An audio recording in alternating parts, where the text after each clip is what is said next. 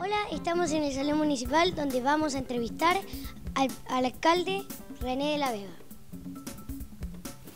Mi nombre es Cristian Cruz y vengo del Liceo Don Cifuentes. Bueno, la siguiente pregunta es, usted cuando era niño y tenía nuestra edad, ¿usted qué soñaba ser cuando grande? ¿Usted soñaba con ser alcalde? Cuando yo tenía su edad yo pensaba y soñaba en ser aviador.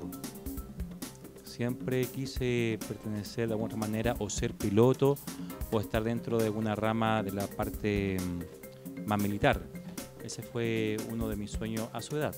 Buenas tardes, señor alcalde. Yo me llamo Victoria Contreras y vengo a hacerle una pregunta desde el Liceo Bueno, la pregunta es, ¿qué es lo más difícil de ser alcalde? ¿Qué es lo más difícil de ser alcalde?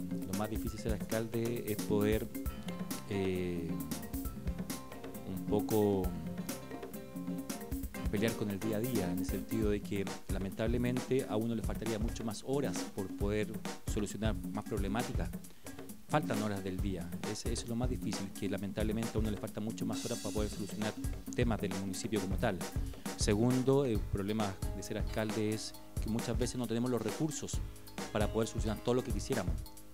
Entonces, hoy día lo que más falta es tiempo y poder solucionar todos esos problemas que difícilmente se hacen cuatro años y hay veces que han pasado muchos años y nunca se han resuelto. Buenas tardes, señor alcalde. Mi nombre es Maricelo Urruti y vengo desde el Liceo Don Cifuentes. Mi pregunta para ustedes, como músico y artista, eh, ¿qué iniciativas tiene en el ámbito cultural? Bueno, la cultura aquí en Conchalí hoy día estamos haciendo renacer. Nosotros vamos a hacer el Festival del Gorrión de Conchalí. Ustedes saben que el Gorrión de Conchalí se le llamaba Salo Reyes y se le llamaba el Gorrión entonces, dentro de nuestra identidad como Conchalí, eh, Salo Reyes es uno de los personajes con mayor reconocimiento por parte de nuestra comuna y hoy día nosotros vamos a partir con el festival El Gorrión de Conchalí que busca justamente destacar a bandas y a solistas eh, dedicados a la música dentro de nuestra comuna.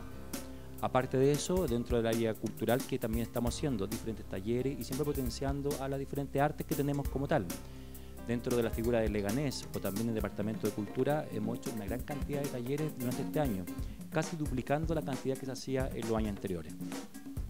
Mi nombre es Tomás Nostroza del Liceo Don Fuentes y yo le quiero hacer una pregunta que para mí es como esencial de qué piensa usted sobre la educación en nuestro país. ¿Qué pienso yo? Y que se ha pensado siempre, que es fundamental y un derecho que cada niño tiene que tener. Y así es. Siempre obviamente lo que uno busca es que el nivel de educación sea igual en todas las comunas. Y ese es uno de los objetivos fundamentales, no de mi persona, sino que tiene que ser parte de lo que es la forma del Estado de mirar la educación como tal. Y así se mira como tal. Hoy día nosotros como comuna de Conchalí tenemos obviamente no las mismas ventajas que pueden tener otras comunas. Y lo que tenemos que buscar es poder nivelarnos con esas comunas y tener las mismas ventajas o bien tener un valor agregado o un plus agregado o una identidad eh, y en eso estamos trabajando. Mi nombre es Carlos Rojas, vengo de la Escuela Liceo Arturo Cifuentes. Me, le quisiera decir una pregunta. ¿Qué iniciativa tiene para integrar a los alumnos extranjeros, como yo, soy peruana? Bueno, nosotros hoy día hicimos una feria justamente para mejorar lo que es la figura de em, las matrículas de nuestra comuna. La inclusión justamente social, el tema justamente de poder darle un apoyo a todos los migrantes es fundamental dentro de nuestra gestión. Hoy día hemos estado trabajando con, mucho con los haitianos, un poco tratando de nivelarlos y buscar cómo ellos puedan por lo menos saber español para que se vayan haciendo parte de nuestros colegios. Ha sido una de, ha sido una de las propuestas súper eh, dentro de lo que es la corporación, la corporación que ve la parte administrativa de ustedes, que es la Coresam, hemos estado constantemente insistiendo que la parte de migración como apoyo por parte de nosotros como municipalidad es fundamental. Bueno, un saludo grande a todos los niños de, de la Don Cifuente. Eh, es importante, como lo estaba comentando recién, justamente en que no se pongan límites, sino que, que sueñen por sus ideales, que sueñen por lo que quieren llegar a ser y a veces también por lo que a lo mejor no se puede llegar a ser. Como siempre lo he señalado, hay que colocarse meta alta. Por último, para llegar a la mitad del camino. Ahora, si se pueden cumplir con las metas altas, mucho mejor. Un saludo grande a todos los chicos.